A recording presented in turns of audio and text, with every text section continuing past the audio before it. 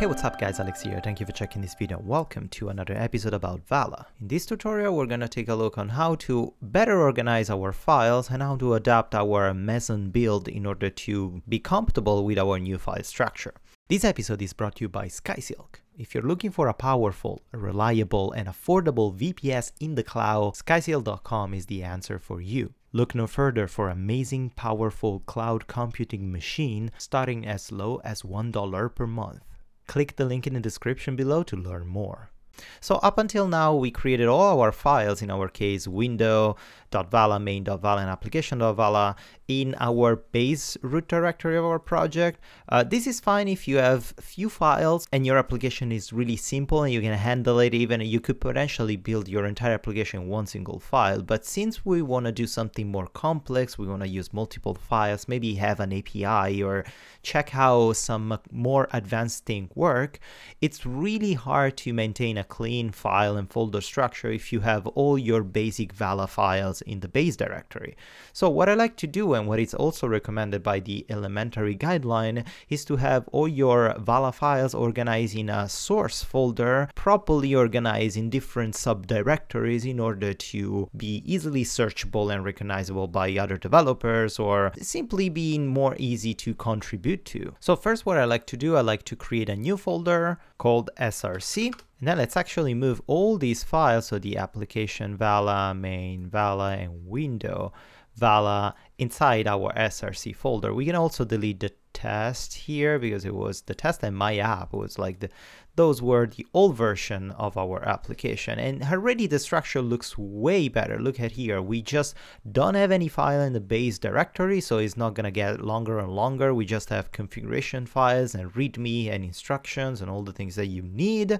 And then all our files are inside the src perfect. Then inside the src folder i want to create a new folder called uh, Uh, and you can literally call this whatever you want, but I want to call it widgets. And in the widgets, I'm gonna put all the front-end related things, all the widgets or all those files that are tapping a specific GTK widget in order to be triggered by our application. So in our case, the main doesn't trigger any GTK widget.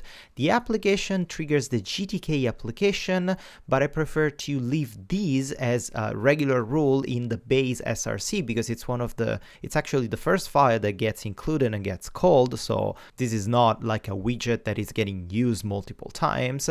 I want to put in the widgets folder the window because the window is just an application. Window is the proper widget and it could actually be called multiple times if we handle our application with multiple windows. So I'm going to move the window.vala inside the widget. There you go.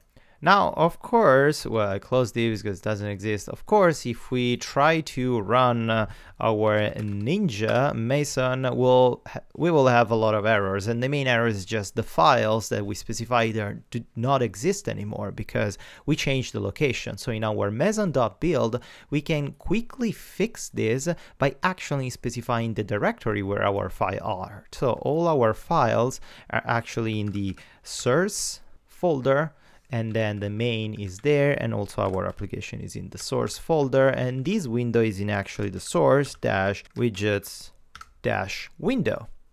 And of course we can change this by switching it and we can also create and leave some empty space if we want to make it more readable for ourselves. This is not really a mistake so if we open our terminal and run Ninja once again, uh, the compiling process was done and there's really no work to do because we didn't update any file. And of course, if we try to trigger our application that it's called Jarvis, our application runs properly and there's no problem.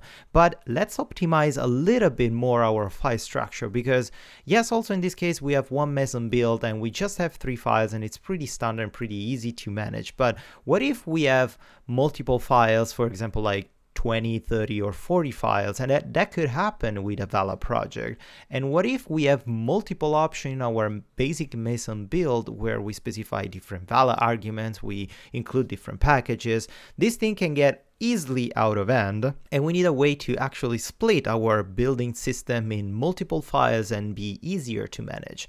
And Meson allows us to do it in a really simple way. So first, let's create a new meson.build file inside our source directory. Let's call a new file and let's generate this as meson.build. So we have another meson build file inside our source and inside this meson build in the source, we're gonna cut from the base directory, the root directory meson build, the executable session, and we're gonna cut it inside the meson build in the source folder. And of course, here we can change the syntax to Meson. Perfect.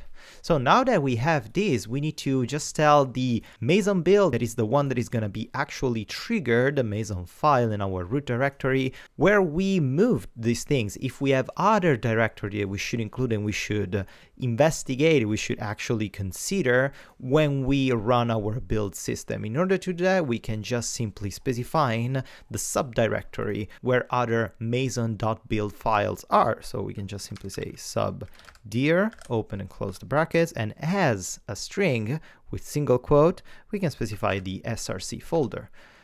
There you go. If we try once again Ninja, we have an error because of course we are in the source folder. We don't need to specify once again then all of these are folder things, source, source, source. So we can say just simply, this is the main, this is the application, and then we have the window inside the widget.vala.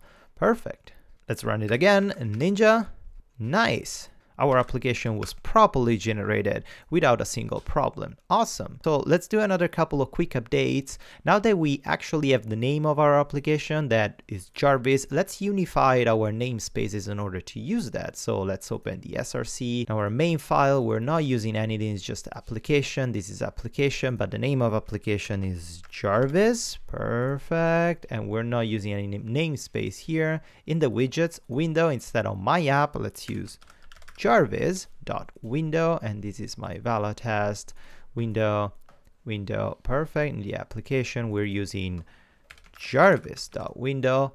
Wonderful. So if we open once again the terminal and we run Ninja once again, no errors, our app can be compiled and we can run it once again without any problem. So now we have the basic structure that I really like to use in order to build, properly build a Vala application. So from next tutorial, we're gonna actually start building our Jarvis to-do list. I'm gonna see how to store some data in the G settings, how to install the application in our operating system, how to actually use the GTK widgets and Granite widgets to make our application look professional and really slick and uh, not something that we build in 5 seconds. So that's pretty much it for this video, I hope you enjoyed. If you did, please give it a thumbs up or subscribe to my channel, and until the next one, as usual, happy coding!